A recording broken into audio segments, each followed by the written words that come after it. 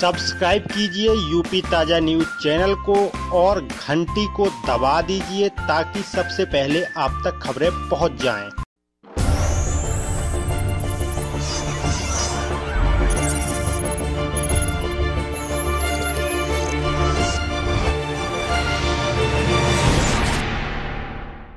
आज peace committee की बैठक यहाँ पर जनपद के सभी थानों से दूर दूर से आए संभ्रांत नागरिकों के साथ की गई और आगामी 12 तारीख को, क्योंकि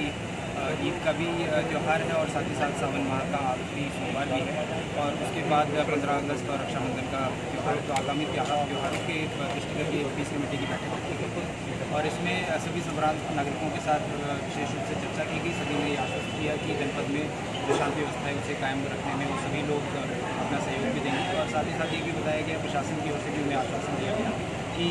जो सभी हमारे अधिकारीगण हैं वो सचेत रहेंगे एक्टिव रहेंगे और पर्याप्त मात्रा में बिजली पानी साफ़ सफ़ाई की व्यवस्था और सुरक्षा के दृष्टिकोण जो सभी हमारी मुस्तैदी और अलर्टनेस है वो रहेगी और त्यौहारों को सभी के साथ शांतिपूर्ण तरीके से सभी लोग मनाएँ और प्रशासन और पुलिस का सहयोग सभी के साथ थैंक यू सर मेरे साथी पुलिस अधिकारीगण जनपद के विभिन्न थानों से आए हुए थाना प्रभारी गणमान्य लोग एवं मीडिया के साथियों तारीख को श्रावण मास का ये अंतिम सोमवार है। और साथ ही साथ बकरीद का त्यौहार शुरू से जाता है। कावड़ियों की जो भीड़ होती है वो वाराणसी और आसपास के इलाकों में काफ़ी ज़्यादा मात्रा में कावड़िया बाहर से आते हैं। और उस दिन जहाँ जहाँ सामने आने जाने का क्रम होगा, अपेक्षा हम सब लोगों की यही है कि क्योंकि ये हमारे नई संप्रदाय के चश्मे से ही नहीं देखना है ये शाही विरासत के त्यौहार।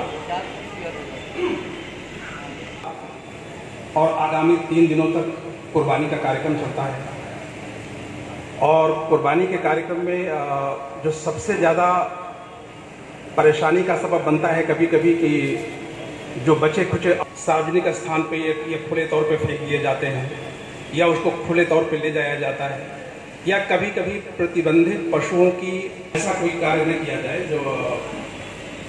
न समाज हित में है और न नियम कानून के अनुसार। है सबसे बड़ी बात यह है कि आ, इस बैठक का उद्देश्य तो हम सभी जानते हैं और इस बैठक के संबंध में विस्तृत रूप से चर्चा भी हम सभी लोगों ने अभी की। आने वाली 12 तारीख को दो प्रमुख त्यौहार हमारे दोनों समुदायों के जो बड़ी ही आस्था से जुड़े हुए हैं, वो होने वाले हैं। बकरी ईद और सावन माह का आखिरी सोमवार। और इस दौरान दोनों ही समुदायों के सभी लोगों के बीच में आज ये शांति समिति की बैठक इसीलिए रखी गई, इसीलिए चर्चा का विषय यहाँ पर रखा गया कि किसी भी प्रकार की समस्या उस दिन न उत्पन्न होने पाए और किसी भी प्रकार की समस्याएँ यदि इस समय पर हैं, चाहे वो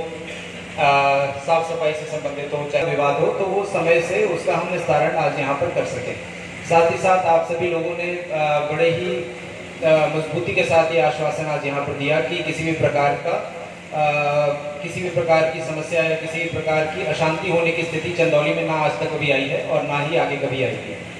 जनपद में लगभग पिछले सवा साल से मैं यहाँ पर कार्यरत हूँ और जैसा कि आप सभी लोगों ने यहाँ पर बताया, पिछले